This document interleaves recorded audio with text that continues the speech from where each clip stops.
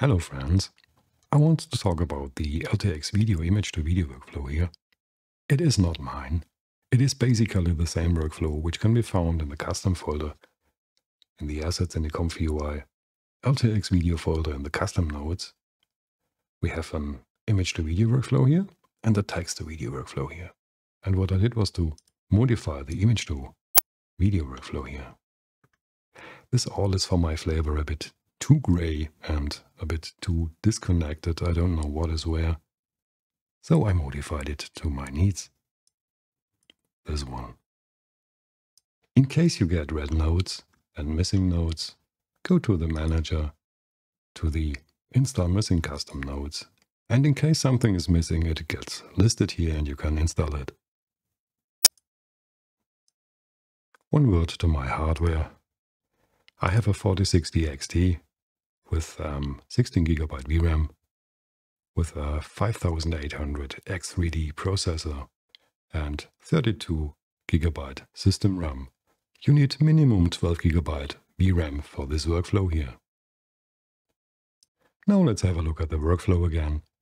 As you can see, I have grouped everything together. This here is the Florence block, the source image, the models, the prompt, and the sampling, and at the end of the chain, the video combine.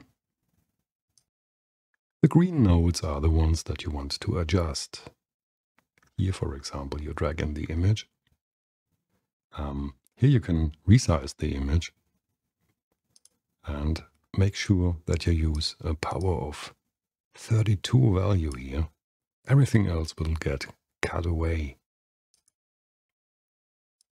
I have, as usual, collapsed the nodes. And here in the models, you can also find information where to find the model and where to place the model. Let's have a look at the Florence image to text group here. I have added a text combination node here.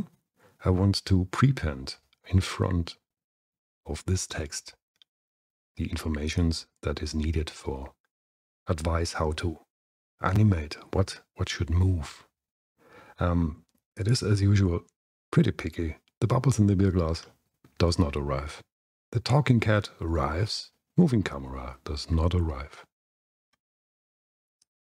This is the advice of the original workflow, the suggested suffixes. But as told, I want to put text in front of it, and that's why this text combination node here is. This all is um, generally part of the prompt. The length, the frame numbers, and the frame rate can be adjusted here in the model configurator. I was not able um, to add an upscale workflow here, an upscale part. It always runs into an OOM. So upscaling should be done in an extra workflow. I have done some I have collected some examples. I will link them in the description. And that was basically it. The rest was experiments if LTX video fits my needs. And I have mixed feelings here. It is super fast. The workflow here, um, the creation part, finished in two minutes. Crazy. I love, by the way, the clock here running like crazy. Um, the problem is the quality. Here it somehow fits, but when you go closer, you notice it misses quite a few details. It goes much worse. To give you an example, um, it goes completely blurry, and this was most of my results. So what you win with the speed of this LTX video model, you lose by doing lots of experiments to get a useful result. It is nevertheless a nice model. I have here version 2B version 0.9. Maybe a future um, version gives better results. Um, we will see. Um, that was it. Have fun.